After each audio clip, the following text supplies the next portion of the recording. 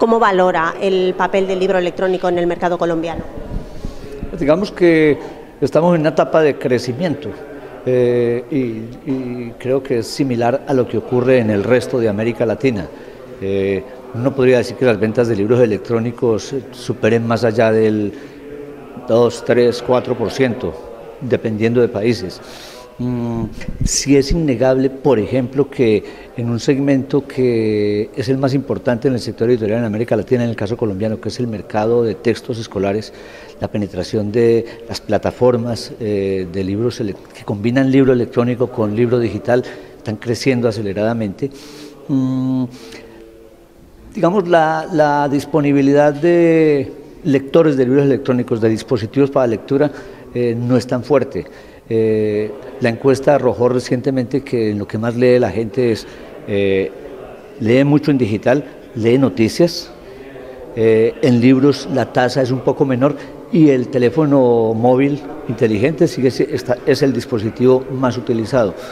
Pero digamos que, por, por resumirlo de alguna manera, es no, estamos lejos de las tendencias del mundo, está creciendo lentamente.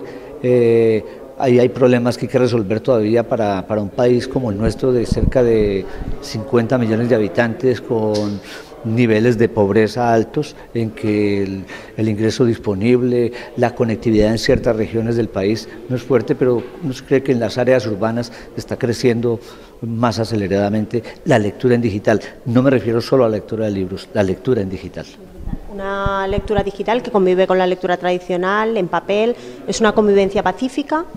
Sí, es una convivencia pacífica. Yo creo que...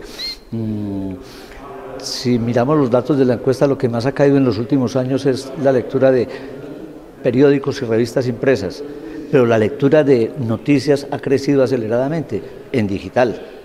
Y si miráramos cifras de hace 10 años de lectura de libros en digital, eh, creo que también ha crecido. Uno podría pensar que del, total de libros leídos en Colombia, según la última encuesta, cerca del 15% son libros digitales.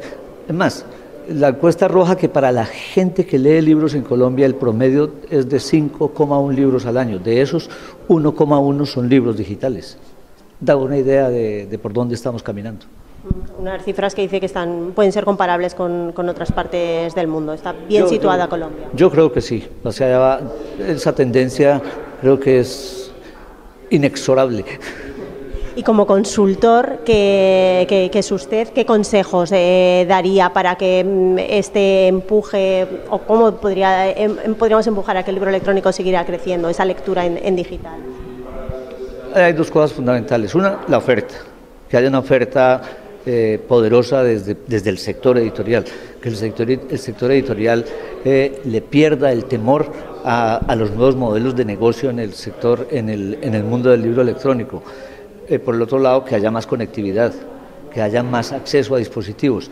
Es un poco a poco creo que esto va avanzando. Pero creo que lo fundamental tiene que ver con la certeza con respecto a los modelos de negocio. El temor de muchas del, en el sector editorial tiene que ver con el respeto a, los derechos de autor, de cómo se va a manejar esto en el ámbito digital. Hay, hay todavía mucha reticencia. Creo que eh, conocer más en detalle nuevos modelos de negocio, ver las experiencias en otros países, va a fortalecer ese mercado de alguna manera en la región, en general y en Colombia en particular. Muchas gracias por su intervención.